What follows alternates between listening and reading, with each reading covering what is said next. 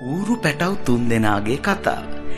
එකෝමත් එක කාලෙක මහළු ඌරු අම්මෙකුට ඌරු පැටව් තුන් දෙනෙක් හිටියලු. ඉතින් මෙයාලට ඇති තරම් කෑමබීම නොතිබුණු නිසා මෙයාලා ටිකක් විතර ලොකෝනාම එයාලගේ ඌරු අම්මා මෙයාලව තනියෙන් ජීවත් වෙන්න පිටත් කරාලු. පළමු ඌරු පැටිය හරිම කම්මැලිය. කටොල් හොයාගන්න වැඩිය දුර යන්නේ නැතුව පිටුරු වලින් ගේ හදාගන්න ඕනේ. එතකොට මට හවස් වරු නිකන් ඉන්න පුළුවන්නේ. ඉතින් පළමු ඌරු පැටිය එයාගේ ගෙදර පිදුරු වලින් හැදුවලු. දෙවෙනි ඌරු පැටියත් කම්මැලිය. හැබැයි පළවෙනිය තරම්ම නැහැ. ගඩොල් හොයාගෙන දුර යන්නේ මොකටද? පිටුරු වලට වඩා දර කොහොමත් හයියයිනේ. කොහොමත් වැඩේ වෙනවනේ. මට දැන් හොඳටම මහන්සි. ඉක්මනින් ගේ හදාගෙන හවස්වරු නිදහසේ ඉන්න ඕනේ. ඔන්න ඉතින් දෙවෙනි ඌරු පැටියා දරවලින් ගේ හදාගෙන හවස්වරුව සතුටින් ගත කළාලු. හැබැයි ඉතින් තුන්වෙනි ඌරු පැටිය නම් පොඩ්ඩක්වත් කම්මැලි නෑ. හරිම කඩිසරයි. එයා එයාගේ ගේ හැදුවේ ගඩොල් වලින්. ඒ විතරක්ද චිමිනියක් තියෙන දරපෝරණුවකුත් හැදුවා. පෙනුම හැටියට නම් ඕන දරුණු හුළඟකට මේ ගෙදර ඔරොත්තු දෙනවා. ඔන්න ඊළඟ දවසේ ඔතනින් යනවා නපූරු ඌරුකෙක්. එයා දකිනවා පළවෙනි ඌරු පැටියගේ පිදුරුවලින් හදපු ගෙදර. එයා පොඩ්ඩල් ළඟට ගිහින් ඉව කරලා බලනවා. අදරෑ කෑමට මට රස්සවත් ඌරු පැටියෙක්. ඌර්කයා දොරට තට්ටු කරලා ඌරු පැටියෝ ඌරු පැටියෝ මාව ඇතුළට ගණ්ඩ. නෑ නෑ නෑ කොහොමත්ම ඔයා වැැතුලට ගන්න නෑ නෑ නෑ. ඌර්කයා දත් විරිත්තල කිව්වා. එහෙනම් මම පිබල ඔයාගේගේ විනාස කරලා දානවා.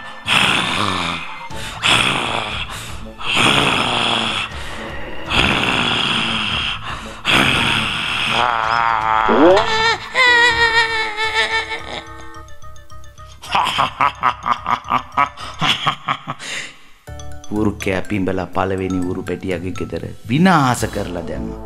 පළවෙනි ඌරු පැටිය ඉක්මනින් දුවලා ගියා එයාගේ දෙවෙනි ඌරු පැටියා ගෙදරට.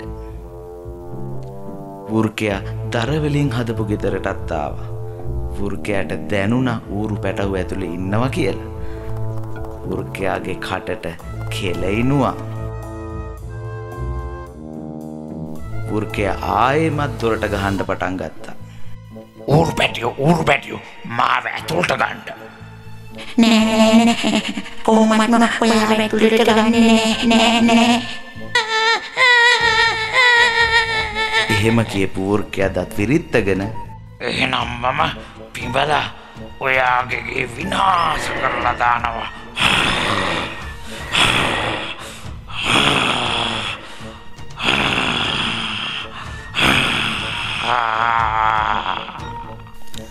ඔන්න ඉතින් දරගෙදරත් කඩපු නපුරු ඌර්කය හැදුවේ එක පාරම ඌරු පැටව් දෙන්නව අල්ලගන්න. ඌරු පැටව් දෙන්න බයේ ගැහෙනවා. ඌරු පැටව් දෙන්න දුවලා දුවලා දුවලා ගිහින් තුන්වෙනි ඌරු පැටියගේ ගෙට ඇතුල් වුණා.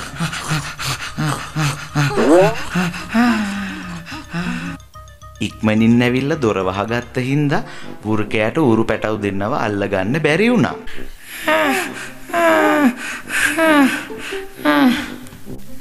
මේ වෙලාවේ දරුණු බඩකින්නකින් ඉන්න වෘර්කයා ගඩොල් වලින් හදපු ගෙදරටත් ආවා.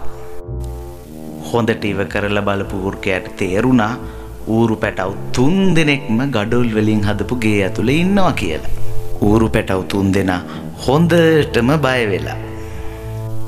ඔන්න කලින් සැරේ වගේම නපුරූර්කය ඇවිල්ලා මේ ගෙදර දොරටත් තට්ටු කරා. ඌරු පැටියෝ ඌරු පැටියෝ මාව ඇතුළට ගණ්ඩ. නෑ නෑ නෑ කොහොමත්ම ඔයා වැැතුලට ගන්න නෑ නෑ නෑ. එහෙම කියපු ඌර්කයා දත් විරිත්තගෙන එහෙනම් මම පිබල ඔයාගේගේ විනාස කරලා දානවා.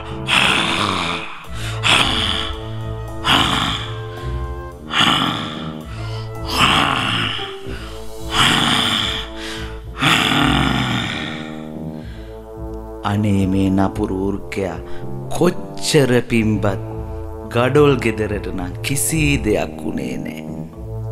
අන්තිමට වෘර්ගයා මෙහෙම කියනවා. මම කොච්චර පිම්බත් මම කොච්චර පිම්බත් මට මේ ගෙදරට මුකෝට් කරගණ්ඩ බැරෝණ එවුනාට මම මගේ උත්සාහය අත්තරින්නේ හොඳටම කේන්තිගිය නපුරු වෘර්කය මේ වෙලාවෙ කියනවා මම චිමිනියෙන් ඇවිල් හරි උඹලව අල්ලගන්නවා ඔන්න මේ වෙලාවේ පුංචි උරු පැටවතුන් දෙනාට තේරුණා මොකක්ද වෙන්න යන්න කියලා. ඒගොල්ලො ඉක්මනටම ගිනි උද්දනෙන් ලොකූ භාජනයකට උණු අතුරු දාලා රත් කරා.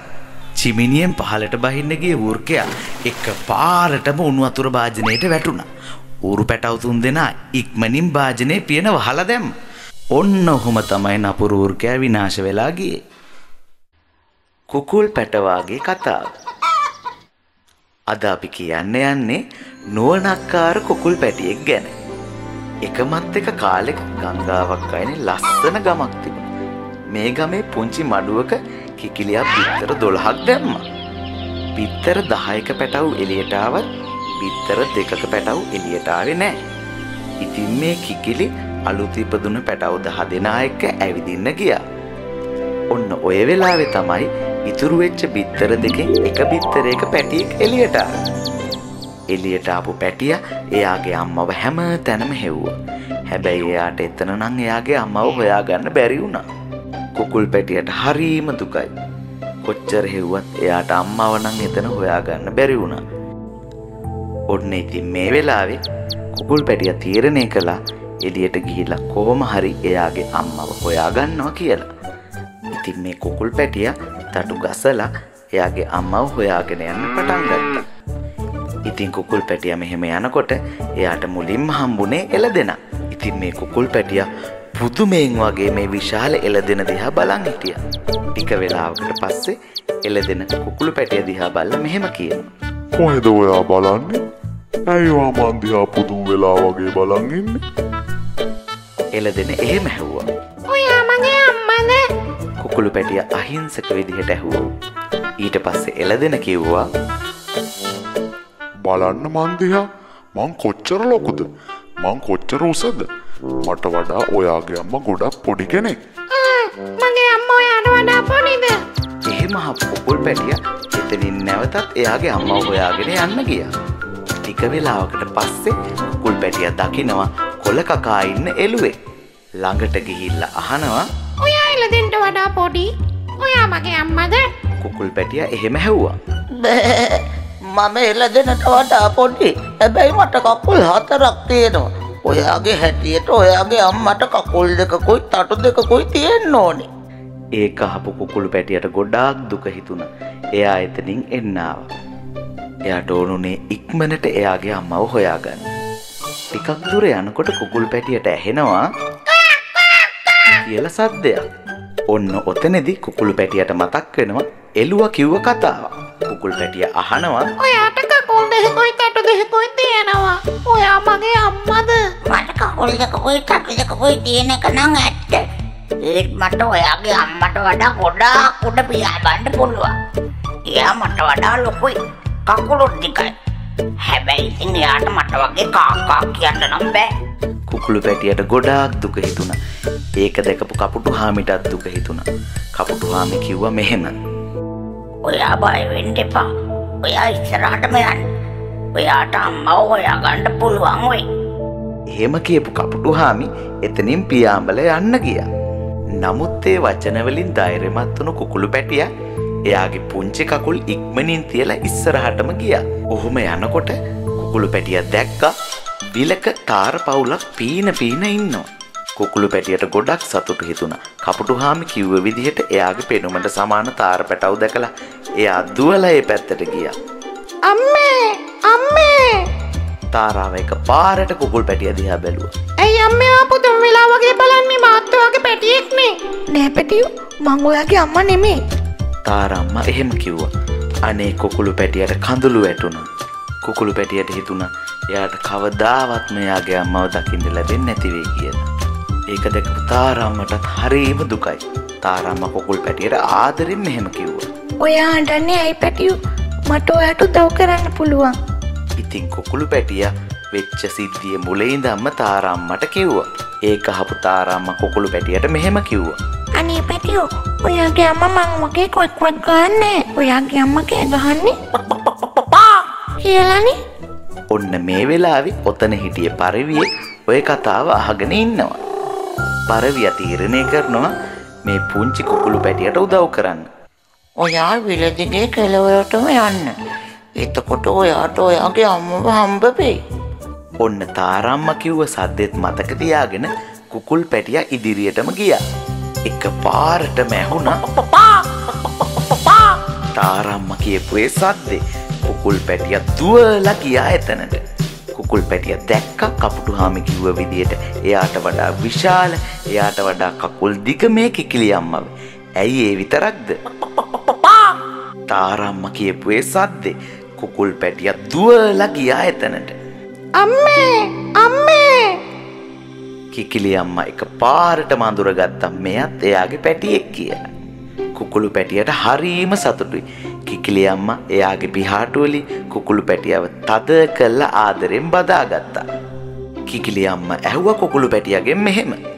ඇයි මගේ පැටිය එලියට ආවේ ඔයාට මඩුවට වෙලා ඉන්න තිබ්බනේ මම කෑම ටිකක් හොයාගෙන ඉන්න එලියට ආවේ ඉතින් මේ කිකිලි අම්මට දැනගන්න ඕන වුණා එළියට ආපු කුකුල් පැටිය එයාව කොහොමද හොයාගත්තේ කියලා. ඉතින් කුකුල් පැටිය මුල ඉඳන් වෙච්ච හැම දෙයක්ම ඉතාමත් පැහැදිලිව එයාගේ බොරු බුහුටි කටහඬින් කිකිලි අම්මට කිව්වා. කිකිලි අම්මට හිතාගන්න බැරි වුණා කුකුල් පැටියගේ මේ නිර්භීත ගමන ගැන. අවසානයේ කිකිලි අම්මා ගොඩාක් සතුටු වුණා මේ වගේ එඩිතර පැටියෙක් එයාට ඉන්න එක ගැන.